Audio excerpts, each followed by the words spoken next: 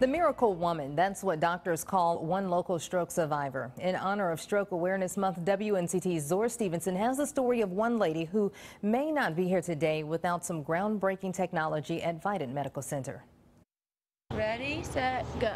One exercise Good job. at a time, We're gonna go to the left. one foot after the other.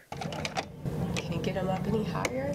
The, they, they call it a miracle lady. When you woke up, what did you remember? Nothing. This picture shows 83 year old Elaine Alette just hours post stroke. They told us she could be a vegetable, very possible.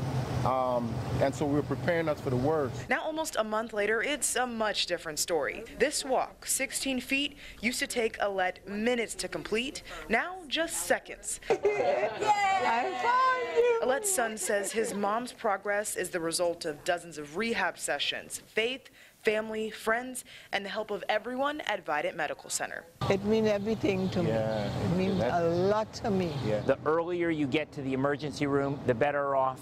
Alette is a perfect example of why it's important to get medical attention immediately. The quicker you're evaluated and the, the quicker we can make these uh, therapies available, the better your outcome is likely to be. Two. Alette knows that firsthand. She receives all her therapy at Vidant. Now, days from going back to living on her own, therapists say Alette is one of the hardest working patients Oh my gosh, look at you. and arguably the most popular.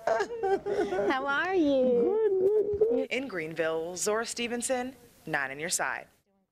Alette should be able to make a full recovery. Vidant now has the capability to treat stroke patients all year round.